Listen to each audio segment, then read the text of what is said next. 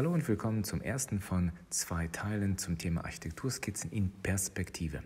Perspektive ist auch das Stichwort für die aktuelle Abstimmung. Es geht darum, ähm, welches Top-Thema in dem Kapitel Perspektive. Ihr wisst, mit dem EMF Verlag und mit euch produzieren wir das aktuelle neue Buch und mehr dazu auf dem Tab Community. Und wer von euch nicht so lange warten möchte und dieses Buch noch nicht kennt, gerne auch dieses jetzt auch einfach mitbestellen. Und hier geht es auch schon sofort los zum Papier. Wir scribbeln als erstes die Linie, die uns so ein bisschen die, die Horizontlinie widerspiegelt und scribbeln Stück für Stück das Gebäude auf. Natürlich auch hier Rundungen sind rund, die bleiben dann auch rund und wenn wir uns jetzt vorstellen, dass das die Rundung oberhalb ähm, der Horizontlinie ist, was auch Sinn macht, dann würde man das genau so sehen, dass die praktisch den Bogen nach oben schlägt. Das ist wichtig, ähm, weil wir natürlich jetzt auf einen Kreis von oben schauen, ist die Ellipse zu uns offen, nach oben hin geschlossen. Und das ist wichtig, weil es immer wieder vorkommt, dass perspektivisch so etwas falsch in Kursen gemacht wird. Ähm, und nochmal ganz kurz zur Abstimmung. Ähm, da geht es wieder mal um vier Themen rund um Perspektive. Ihr entscheidet bitte, welches äh, Top-Thema das am Ende werden soll, was euch am meisten rund um Perspektive interessiert. Wir freuen uns auf eure Abstimmung und ähm, hoffen, ihr stimmt kräftig ab.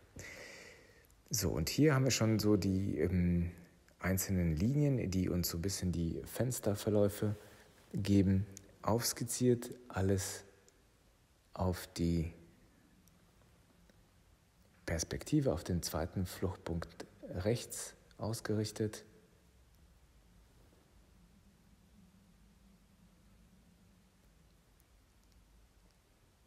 Und dann geht es auch hier aufbauend oben weiter. Also das Entscheidende ähm, ist natürlich auch der lockere Strich. Ähm, ihr seht es mit wenig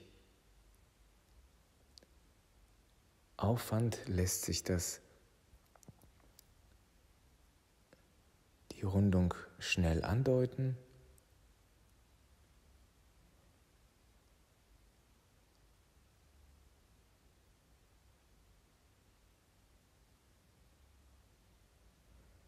Hier kommen dann die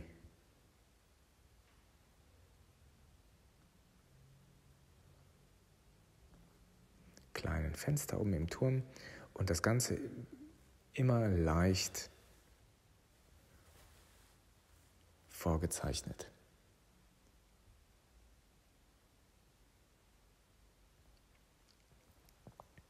Mit einem dynamischen Strich, das ist das, was wichtig dabei wichtig ist, dabei wichtig ist, dass ihr ähm, nicht zu vorsichtig zeichnet, nicht so Stück für Stück, sondern einfach den Bleistift zügig übers Papier zieht oder den Fineliner, Kugelschreiber, womit ihr auch gerne skizziert und das Ganze leicht ausarbeitet das Ganze dann auf den Punkt, den haben wir jetzt den linken relativ sichtbar im Bild. Da wird das Ganze ausgerichtet. Und der zweite Punkt, damit wir auch wirklich diese Ferne hinbekommen, ist ganz weit rechts. Perspektivisch lassen sich natürlich auch sehr ähm, schöne Skizzen erzeugen. Man kann natürlich ganz perspektivisch auch ähm, das Gebäude aufwerten, indem verschiedene Kleinigkeiten drumherum, wie Bäume, ähm, Wiese, andere Gebäude drumherum, Wege mitgestaltet werden. Das ist das, was wir im zweiten Teil euch zeigen. Da geht es dann mal um die farbige Ausarbeitung und die Visualisierung von Elementen um die Zeichnung herum. So, und auch jetzt hier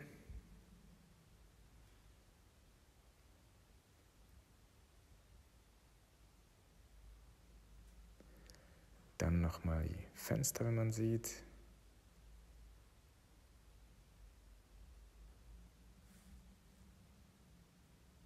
Das Ganze auch leicht vorgezeichnet.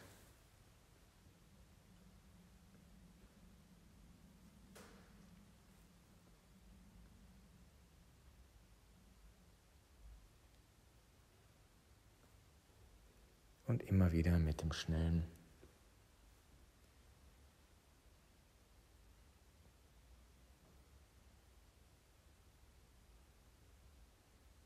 Strich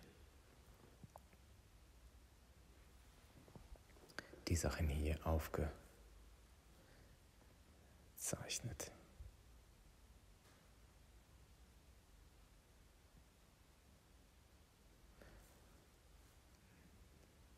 Bei der Schraffur ist das natürlich auch immer ähm, spannend, dass die Linie mit der Fluchtpunktrichtung verläuft. Da müsst ihr auch drauf achten. Das sieht man so ein bisschen am Dach gleich. Und hier so die kleinen Details, Fenster und so weiter, das immer wieder mit einbeziehen.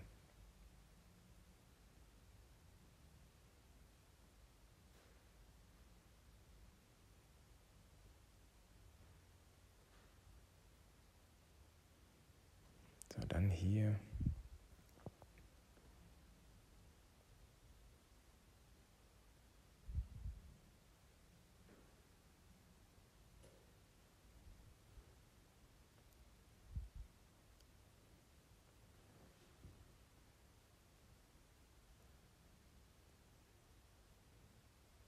Auch die Schraffur zum Fluchtpunkt durch Fenster, immer wenn es geht, dunkel skizzieren.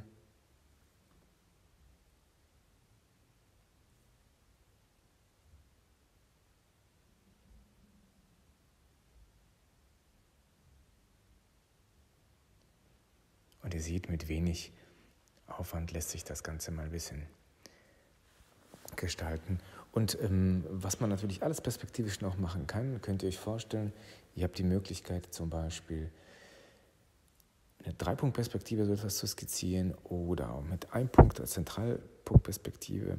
Die meistgestellte Frage in solchen Skizzen ist, ähm, wie finde ich die Fluchtpunkte, wo erkenne ich die und ähm, wo ist der Horizont, was, was kann ich mit dem Horizont alles bewirken. Das sind auch äh, genau die Punkte, die ihr mit abstimmen könnt, bei denen ihr abstimmen könnt, entscheidet, was euch am meisten interessiert. Wie gesagt, im Community Tab könnt ihr das Ganze mitbestimmen. So, und auch hier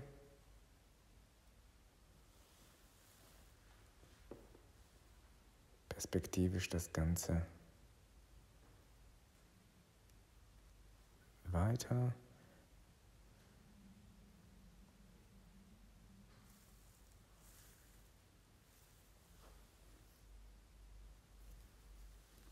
Man sieht schon in der Ferne so ganz leicht die angedeutete Fassade, so ein bisschen das Licht, die Bögen. Das ist natürlich alles ein bisschen ähm, zeitaufwendig, etwas zu zeichnen, vor allem wenn es größer ist, so wie jetzt diese Skizze. Aber ähm, es macht einfach wahnsinnig Spaß.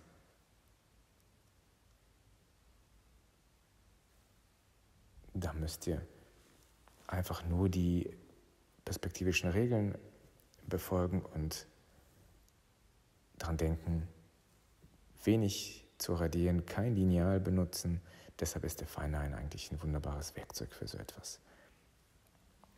Ähm, falls ähm, ihr das Ganze auch lernen möchtet oder womöglich euch für Kurse interessiert, ähm, wo ihr das ganze Zeichnen lernen könnt, auch für ein Studium vorbereitend oder berufsbegleitend, dann seid ihr herzlich eingeladen, ähm, mal bei uns vorbeizuschauen. Ruft uns an, ähm, schaut auf unserer Seite, da findet ihr alle Informationen rund um solche Skizzen, Zeichnungen und Zeichenkurse.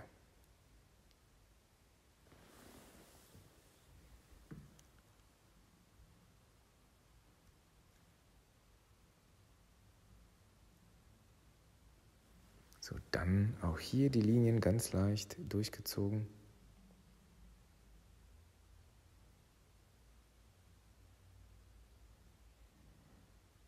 Um mir nochmal die Fensterstruktur mit anzudeuten.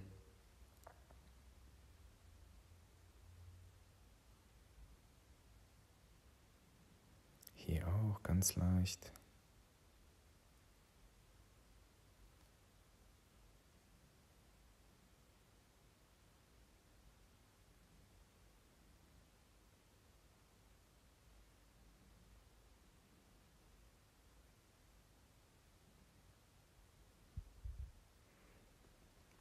Und mit ganz schnellem, feinem Strich nochmal so die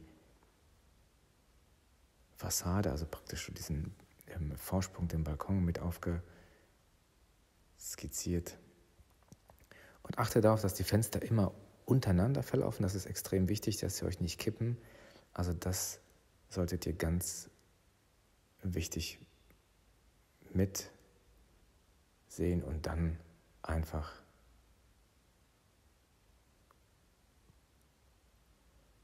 locker skizzierend.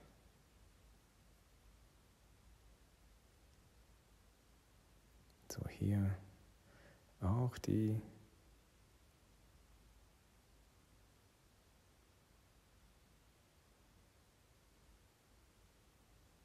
Tiefe oben ganz leicht.